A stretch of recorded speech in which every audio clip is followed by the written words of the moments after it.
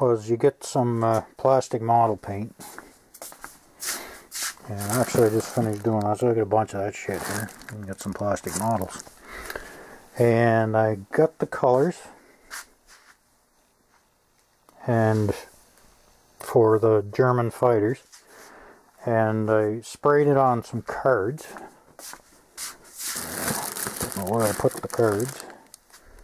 But I just took some construction paper kids use in school and I cut out about a two inch square no, I think it's uh, I think they're actually right here. There there. There's a couple inches squares all you really need. I forget what size I made these. More like three inch square. This is kind of overkill. All you really need is about two inch square. And I sprayed the colors on each one of these. And you see I CA'd some popsicle sticks. I wrote on the back what they were. I'm just keeping these in case uh, for future reference. So this is uh, light blue. What's the Luftwaffe light blue. And on the bottom of the wing and stab and the sides of this airplane I'm going to paint with this. Now the gray that's on it is good enough. That's the wing here. But there again is that gaudy green. So I got the German green. And there's a dark green for the Luftwaffe. That's not the one I'm using. Um, that's a sky. I think this is what the Brits used. I'm not sure. And well, it sure looks different in the camera. And I, I wrote all the information in the back of the cards. There's that German gray. This is the other gray I'm going to use. So you get the light gray, and I'll have the dark gray camel. So all this will be done over in the uh, German gray. I also took a piece, this one here? Dark green Luftwaffe. There's a green, there's a green chromate. Now, I'm not sure if the Germans use this or not. I did do the firewall with it. I just brushed it on, probably sprayed it over. Not that anybody's going to see it inside the cow. But this is uh, the zinc or green chromate the military used. Now the zinc chromate for private is a different, it's more of a yellowish green. And this is what they call a cockpit green. So I sprayed these cards. And I went to Home Depot in uh, Fort Saskatchewan. And they had these little neat little sample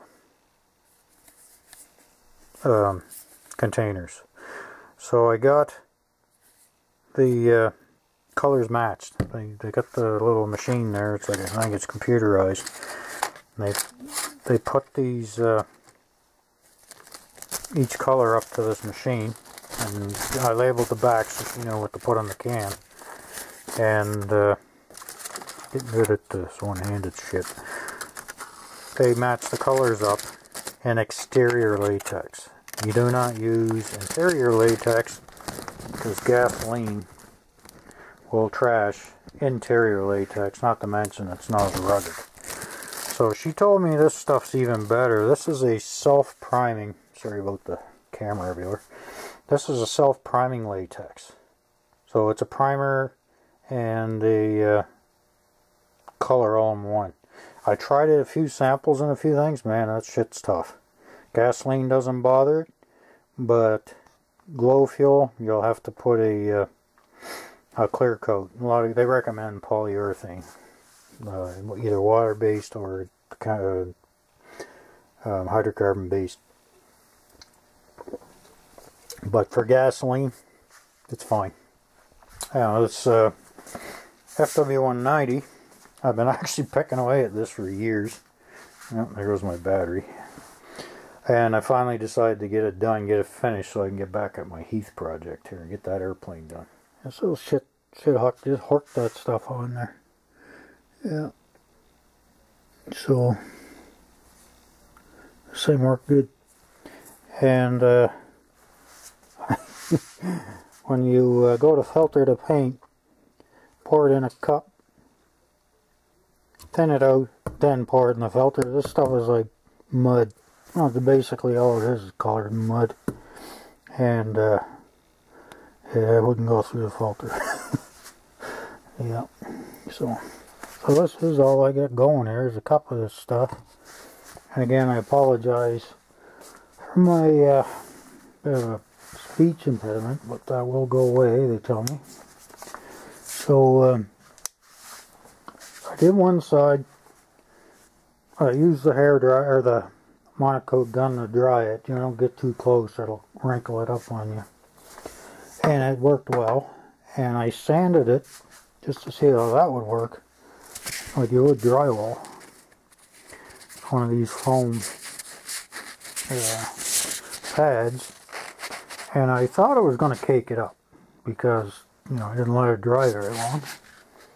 And uh, this is an experiment on a plane I'm not all that give a shit about. So, I'm trying shit on it. Um, this and lo and behold, after using that uh, um, MonoKote gun, it worked great. Now, sooner or later I'll find the papers. And the guy that actually, oh here it is. This is where I get all this stuff from. This uh, gentleman here. You can look that up. I printed it off. Not, none of this is my idea. This is all coming from him. And I get onto it from a gentleman and this, this is the results of what this guy can do with the latex paint. And uh, there's a guy at our club did up a beautiful a twin engine German bomber this way. So I said, hell yeah, I'm going to try that because uh, the uh, fellow in China did a real shitty job on this airplane. And despite the fact this camera hit the floor, it still works. Um, so it's day two of the uh, 190 getting repainted. Uh, it, it seemed kind of rough, and I was thinking last night when it was uh, dry, but overnight it, I guess it drying more allowed the paint to smooth out a bit. So it's pretty much, you know, it's like a satin finish. It's a flat finish. Uh, I took it outside in the sun, and it looked good so I don't have to uh, put another coat on. This airplane does not need to be any heavier than it is. I keep thinking I got shadows, but I don't. That's just where the fiberglass is raised from the, bulk. I taped off the top of the uh, paint I mixed up just to keep it from drying out, and it worked.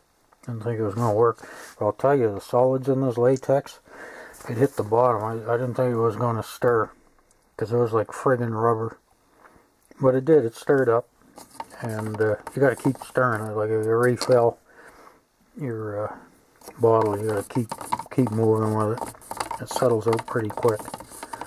But uh, yeah, it stirred up fine and that's good to go. I used uh, Sparky's trick and knowing when to.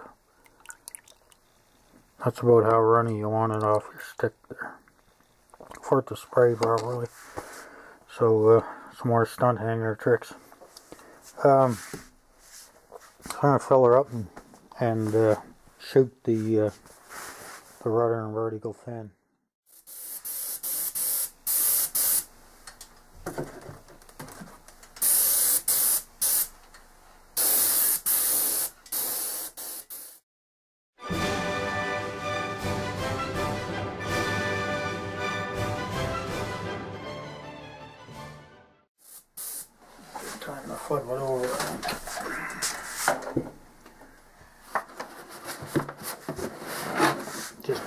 Where I usually grab it.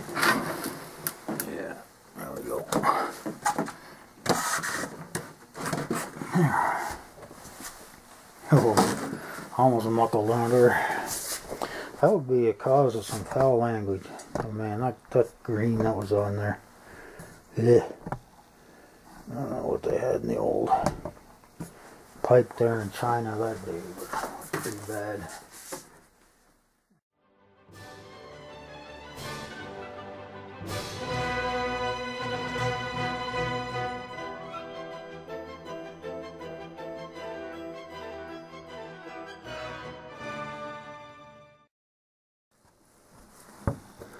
So I don't know if you can see that.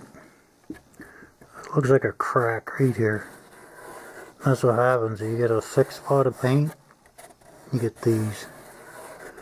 And uh, when you hit it with the, the heat, it dries up and cracks. Oh, I found they do go away sometimes. But like I said earlier, this is all an experiment. I'm just saying how well this is going to work and what I can get away with. I didn't even prime this plane. I just sanded it. And uh, it's self-priming uh, latex. So I got to run here. So I use the heat on it. It's not quite dry enough yet. But I'm going to show you how well this stuff sands out. Like it's only been a few, what, 10 minutes. So, just so I'm to try it now, see what happens. Let's see what happens. Just screw around with it, see what you can get away with, what does and doesn't work. That way, if you guys, anybody who watches it, wants to try it, you know what not to do.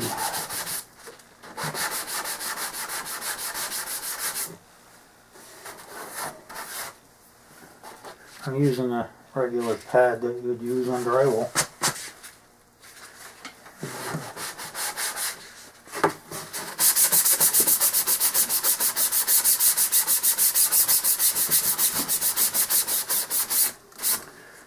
As you can see,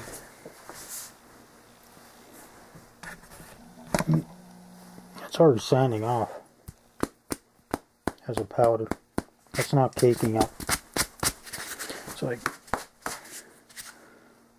pat that on the jeans, it's gone, man. Okay, we're trucking right along here. I got all the the uh, sky blue, Luftwaffe sky blue done, as you can see. And I just added the uh, the light gray. Now, this gray here I just copied from what was on the plane. There's that crappy green I can't wait to get rid of. So, uh, did the blue, it's all done. And the gray, light gray is done, and that's just the fuselage. I've got a lot more to go yet. So that's all done. And I just mixed up a batch of uh, dark gray, German gray. So that's next. And this ugly green here is about to disappear. And uh, this top piece here. this, this is all going to be dark gray down about here. So I'm going to one little spot of light gray here, and then the dark gray here, and it'll follow right up the vertical fin, and nothing on the rudder. So I'm probably going to have to mask that rudder off again. I think I better put on my old uh, shop coat from back in the days. I'm going to get paint on this good uh, shirt I'm wearing. No,